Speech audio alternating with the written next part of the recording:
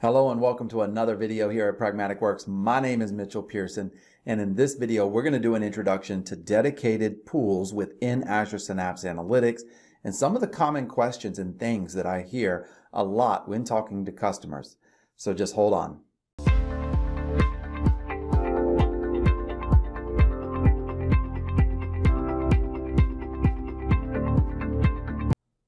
If you like this video, make sure to hit that like and subscribe button and go back and watch the rest of this series. Now, what I want to do in this video is I want to talk about dedicated pools. We have these conversations with customers all the time, customers that are calling us up, taking, you know, boot camps with us, signing up for on-demand learning. And the questions always come up when we're doing the training, should they do the training in Azure Synapse Analytics or should they do it in Data Factory? In fact, before that question usually comes up, customers will look at me and say, hey, we don't need ASA we don't need Azure Synapse Analytics because we don't have that much data. And I'm like, what do you mean? Of course, I already know because I've had this conversation a lot. But people think of Azure Synapse Analytics and dedicated pools as synonymous, as the same thing. And that's just not true. You can use ASA. You can use all the cool features that we've talked about in this series inside of Azure Synapse Analytics without ever provisioning or ever using a dedicated pool.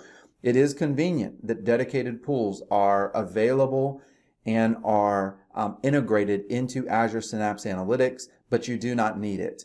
And so we do most of our training here at Pragmatic Works, except for in you know rare situations. We do all of our Data Factory ETL type training. We do it inside of Azure Synapse Analytics.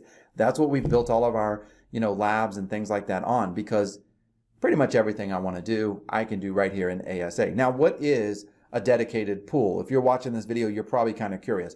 A dedicated pool is a relational database. It's tables that have rows and columns, just like a SQL database that you've worked with.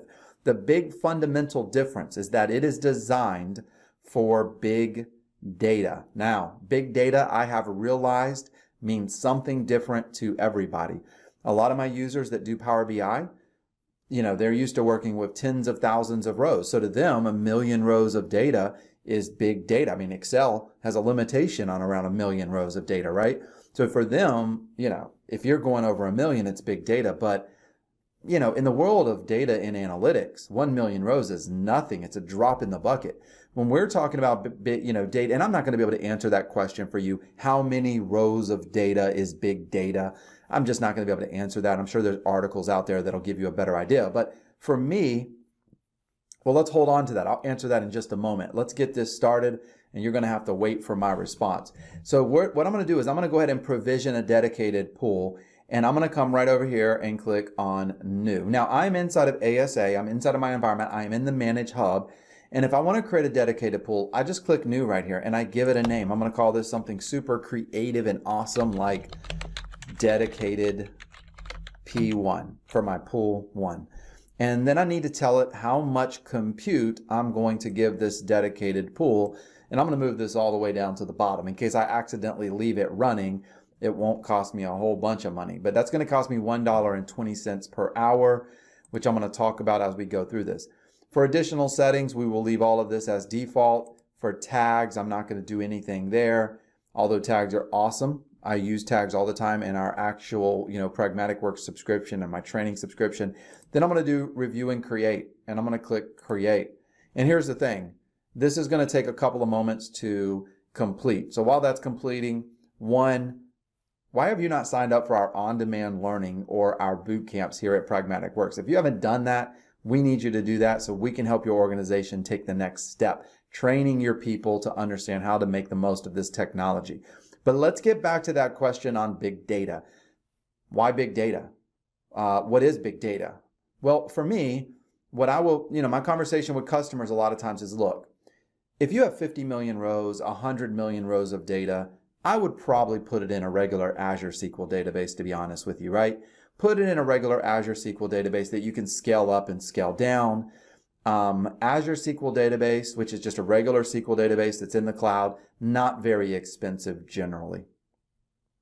There's a lot of different service tiers there. I've done an entire Learn with the Nerds event on Azure SQL database, if I remember correctly. So I think we have a, a, a maybe a three-hour video on Azure SQL database, I think. Um, so you can go back and take a look at that video to find out more about that.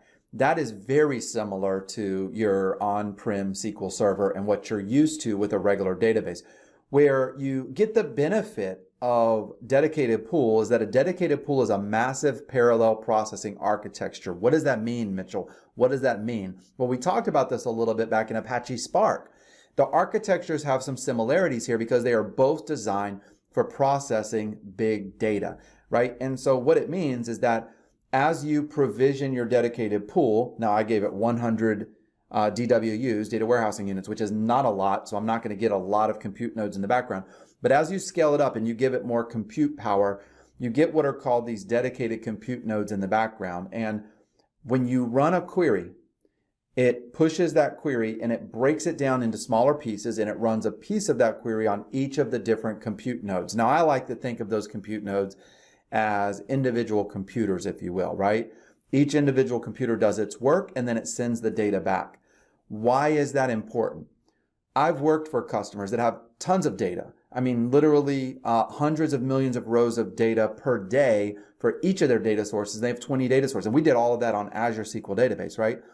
And what happens when you have that much data is you go to your server and you're like, look, we need to squeeze more, you know, juice out of this lemon. We need to get more power out of this server. So what do you do?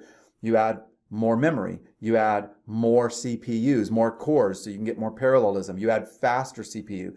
You go in and you talk to your storage administrator, right? The, the, the storage engineer. You're like, hey, we need faster storage. But at some point, at some point, you hit that law of diminishing returns. It's just not going to run faster, not for how much money you're spending in the effort. And so with dedicated pools, with Apache Spark, with MPP architectures, you can just scale it out more. You can just distribute the work across more clusters or more computes within that cluster.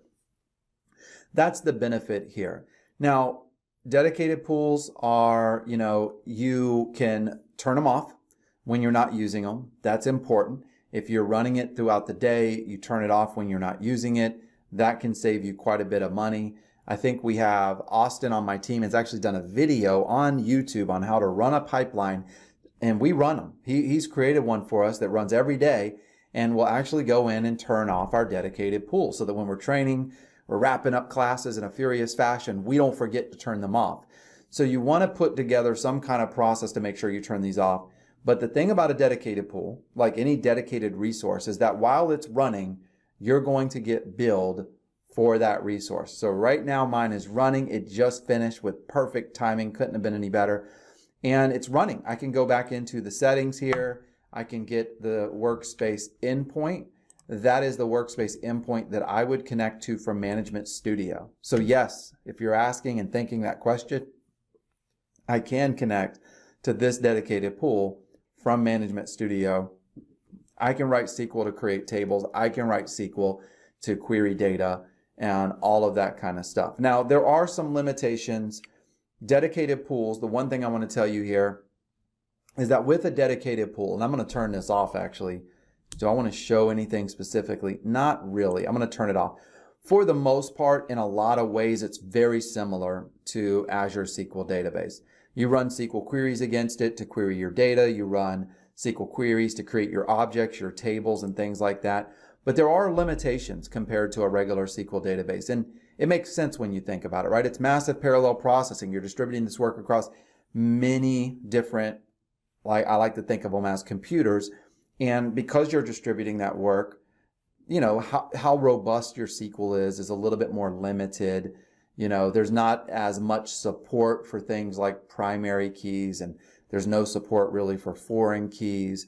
Um, there's a lot of interesting things that you'd be like, whoa, what's going on with that? Even uh, stored procedures, there's now support for that that's been introduced, but then it doesn't cache the stored procedure plan, which I think is fine, not a big deal. And it talks about it in the Microsoft documentation.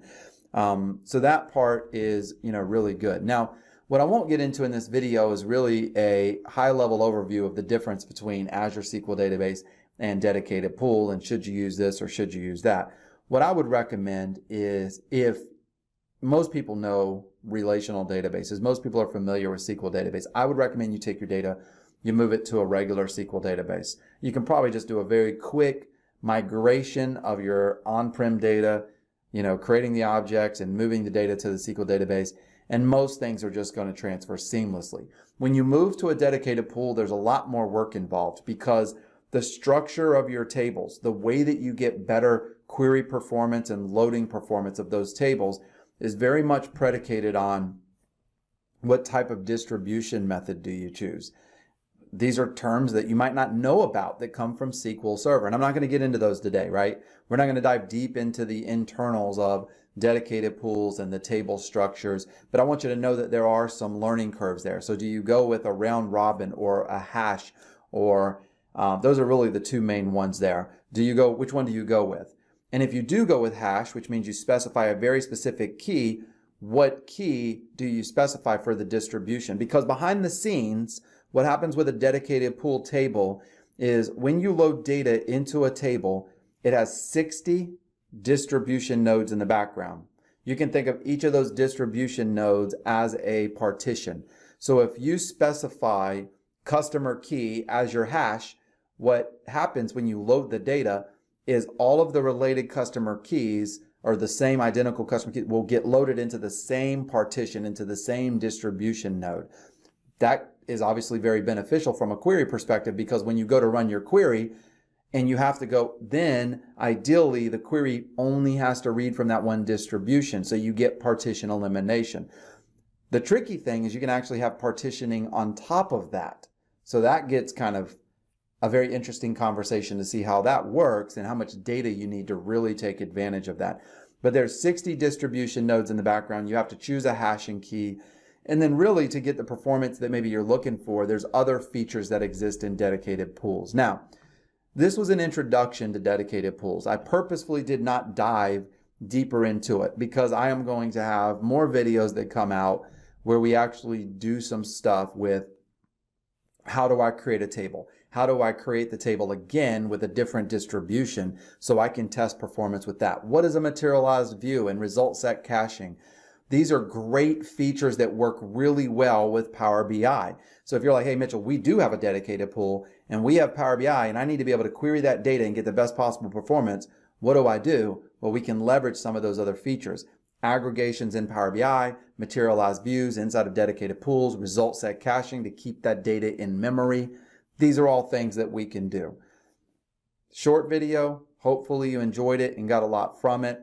It probably has you asking even more questions than you started with at the beginning, but that's okay. Microsoft does a great job with that documentation. And if you have specific questions, put them in the chat window below, and maybe that'll give me some inspiration for future videos that we can do here at Pragmatic Works.